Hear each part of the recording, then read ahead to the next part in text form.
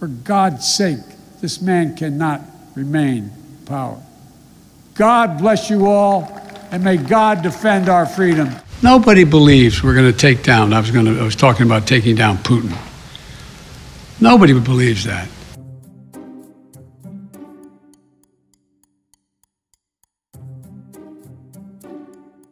the President, the White House, uh, made the point last night that, quite simply, uh, President Putin cannot be empowered.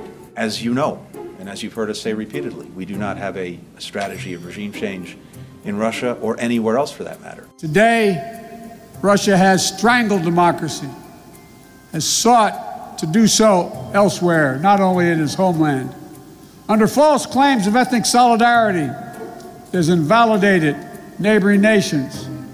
Putin has the gall to say he's denazifying Ukraine. It's a lie. It's just cynical. He knows that. And it's also obscene.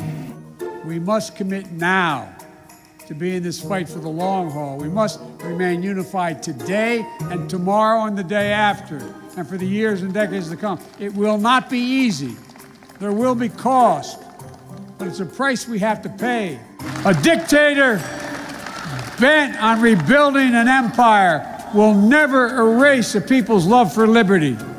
Brutality will never grind down their will to be free. Ukraine will never be a victory for Russia, for free people refused to live in a world of hopelessness and darkness. We will have a different future, a brighter future, rooted in democracy and principles, hope and light, of decency and dignity, of freedom and possibilities.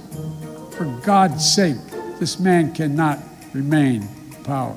Time and again, we offered real diplomacy and concrete proposals to strengthen European security, enhance transparency, build confidence on all sides. But Putin and Russia met each of the proposals with disinterested in any negotiation, with lies and ultimatums. Russia was bent on violence from the start. I know not all of you believed me and us when we kept saying they are going to cross the border, they are going to attack. Repeatedly, he asserted we had no interest in war, guaranteed he would not move. Repeatedly, saying he would not invade Ukraine. Repeatedly, saying Russian troops along the border were there for training, all 180,000 of them. There's simply no justification or provocation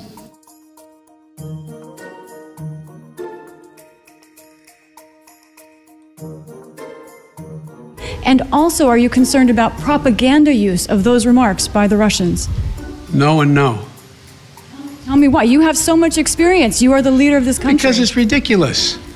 Nobody believes we're going to take down. I was going to. I was talking about taking down Putin. Nobody believes that.